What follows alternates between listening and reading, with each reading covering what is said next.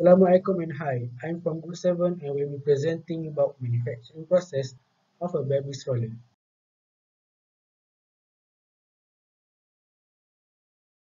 Method of production. Baby stroller are vehicles that are used for traveling or movement with babies. We can say that the use production method in baby strollers is mass production. Mass production is production that has about 10,000 to 1 million products yearly. Function of the component. Contains about three components, the frame, the seat, and the hood.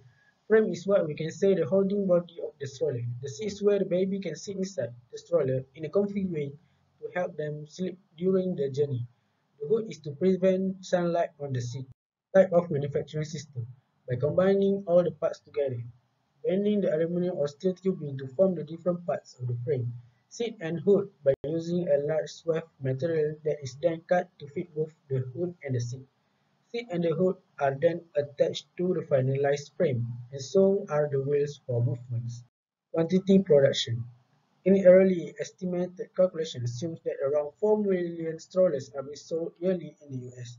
We can state that the number of strollers owned by an average family is around 2 to 3 strollers.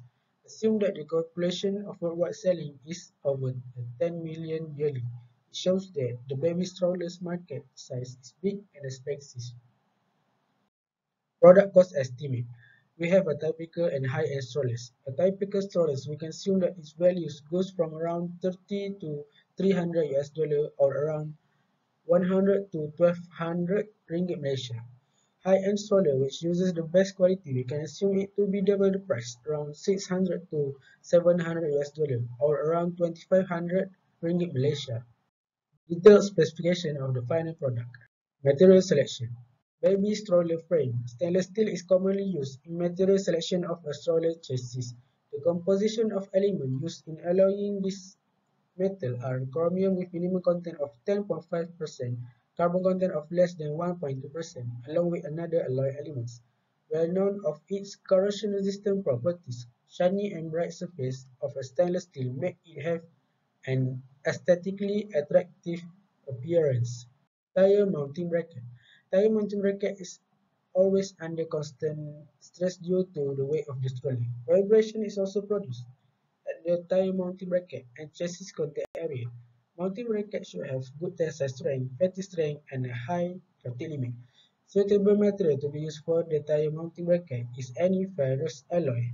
Component analysis Baby stroller frame should have low density to ensure that the chassis is not too heavy which can cause difficulty to use cheap, affordable for everyone to buy, fatigue resistant to prevent failure or fracture of chassis and repeated cycle of stress from the use of stroller. Economical, production costs are minimized and suitable for mass production. Tire mounting bracket. Mounting bracket needs to have high modulus of elasticity as well as high tensile strength. It needs to have good corrosion resistance, high resistance to fatigue failure, the crack produced by fatigue combined with corrosion can result in stress corrosion cracking SCC. Dimensional and surface specification. Baby stroller frame. Stroller generally have a hollow shape. Common methods to select the right size for a chassis by taking the baby height then the baby weight.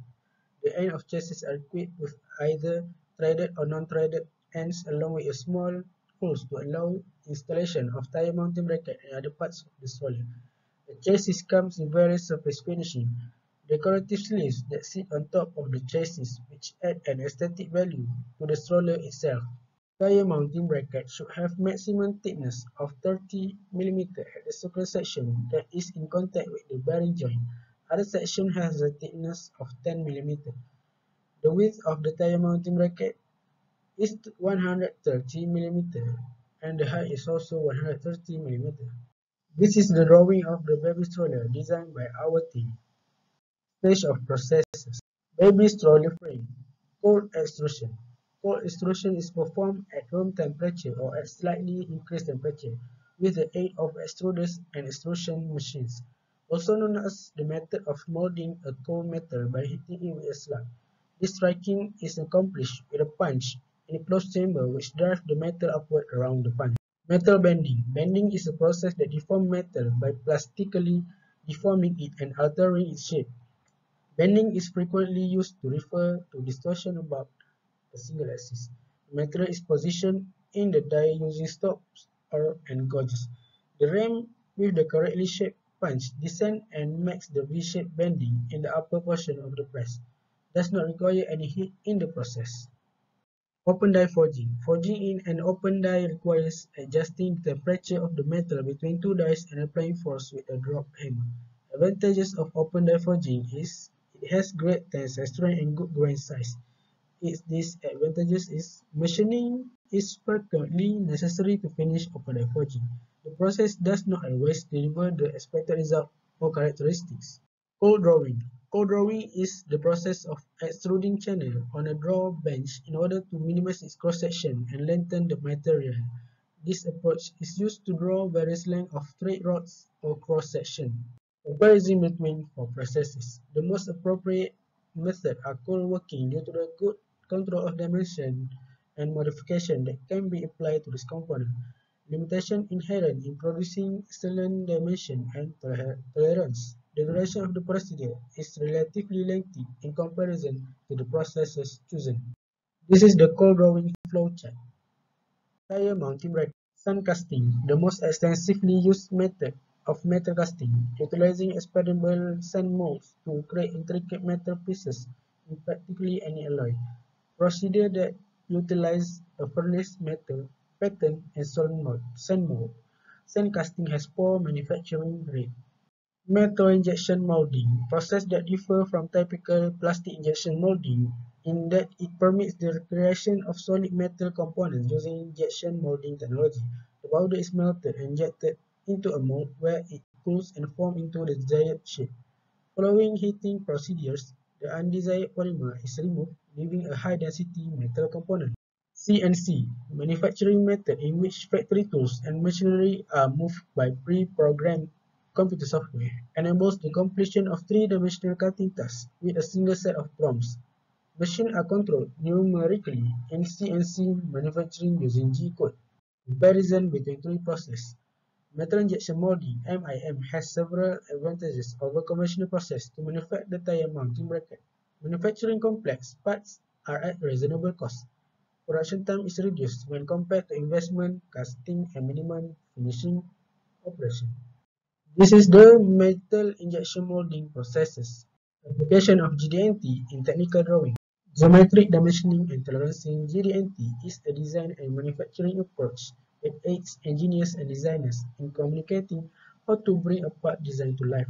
Provides a technique for articulating design intent that is both precise and consistent creates a coordinate system for inspection and manufacture that is based on the datum feature.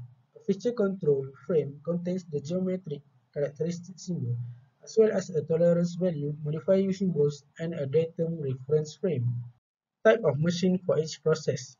For baby stroller frame, plastic sheet extrusion machine is used for a cold extrusion. Sheet metal bending machine for bending metal. Open die for forging press benchtop hydraulic press machine for cold drawing.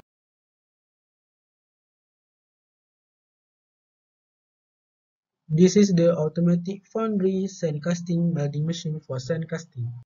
Metal injection machine for metal injection molding. CNC machine. Green reduce raw material consumption. Sustainability can be achieved by minimizing material use during product manufacture. The mixing tube thickness must be controlled and analysis performed to determine the optimal thickness in terms of safety, durability, and material optimization. By separating and preparing for melting the stainless steel and aluminum alloys used to manufacture the component, they can be recycled. By applying 3R concept, stainless steel is actively recycled throughout the world with individual collecting and processing scrap for remelting. Scrap is critical because recycled stainless steel contains valuable raw materials such as chromium, nickel, and molybdenum. Can be collected, processed, and reclaimed during the manufacturing process. Waste management. Excessive travel between workstation and machine motions between starting and work points are all examples of waste motion. Thus, those necessary stoppage in production line that are necessary should be reduced. All problems should be strictly regulated and addressed by all manufacturing companies in order to avoid unnecessary loss in terms of cost time and corporate reputation